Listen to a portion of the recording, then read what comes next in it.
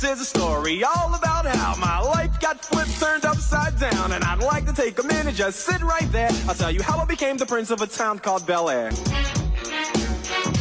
In West Philadelphia, born and raised on the playground is where I spend most of my days.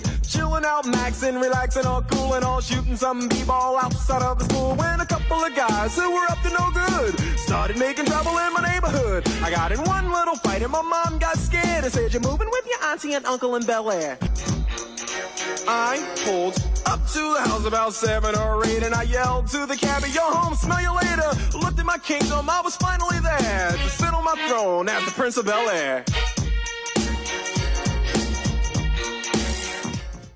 Good morning, Beaufort High. I'm Michaela. And I'm Brian. Today is Wednesday, February 22nd. You are watching your Beaufort High Morning News.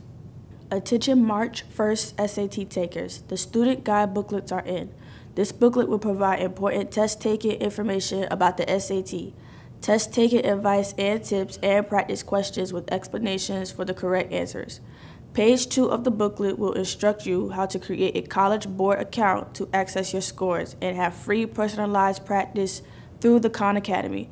Please stop by the guidance office to pick up your free booklet. Feel free to reach out to the testing coordinator, Mr. John Pagani, if you have any questions.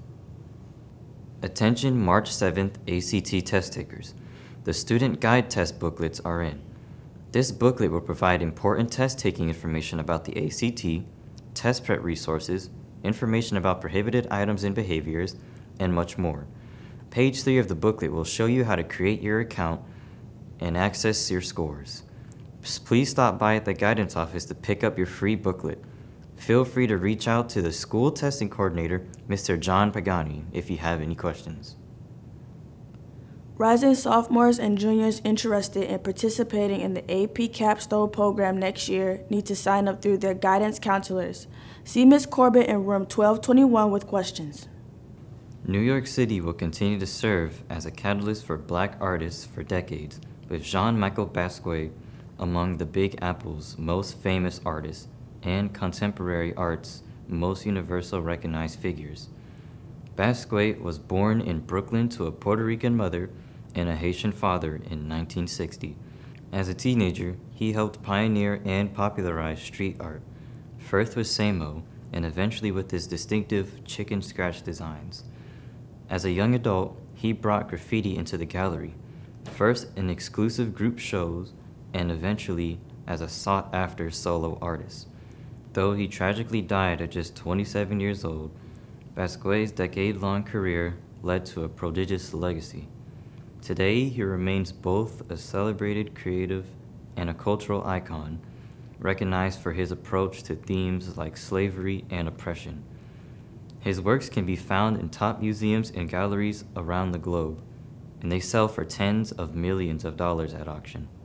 A representative from College of Charleston will be here during all lunches. Stop by Dr. Moss Pinkney's office if you would like to meet with her.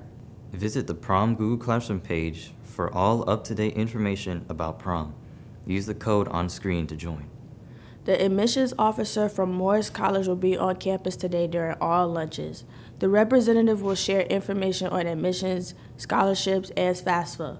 For additional information, see Dr. Moss Pinkney in room 4156.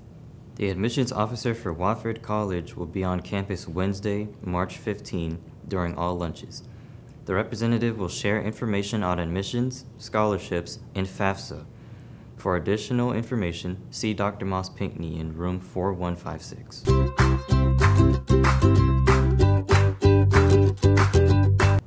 Congratulations to the two Beaufort High robotics teams for advancing to the state championships in Columbia on March 3rd and 4th. This past weekend, Hyper Resolution took home the championship at the region competition. They also won the Excellence Award and the Robot Skills Award. The AFJROTC team finished ninth in qualifying and made it to the semifinals before losing. The AFJROTC team has already qualified for the JROTC National Championships in Dallas. Way to go. The Air Force JROTC is holding a clothing drive to benefit CAPA. Items accepted are shirts, pants, shorts, jackets, sweaters, and hoodies. Please bring donations to one of the JROTC classrooms. The Junior Service League of Beaufort is hosting its annual prom boutique on March 4th. This event allows high school girls to shop for a free prom dress. Please see Ms. Lather for more information. The boys basketball team lost to Orangeburg Wilkinson 61 to 39 in the lower state semifinal game. Michael Dennison led the team in points and rebounds. The loss ends the season for the boys. Michael Dennison was selected to play in the North South All Star game. Only the top 24 players in the state are selected to play in the game. Way to go! Congratulations to the individual wrestlers on their success at the lower state competition this past weekend. Lower state champions are Tyreek Legree and Colton Ferris. Colton also reached his 100th career victory. Runner ups are Andrew Legree and Antonio McKnight. Fourth place are Jack Miller, Brandon Bowles, and John Bechtel. All wrestlers mentioned advance to the state champions in Anderson on March 3rd and 4th. Today, JV and varsity softball will travel to Colleton County for games at 5 and 7. Remember, you can find all schedules, scores and highlights at BeaufortHighEagles.com. That's your sports news. Go Eagles. Please stand for the Pledge of Allegiance.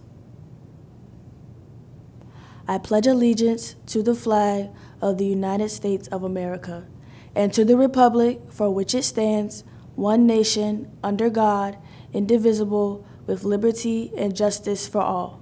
Please be seated for a moment of silence.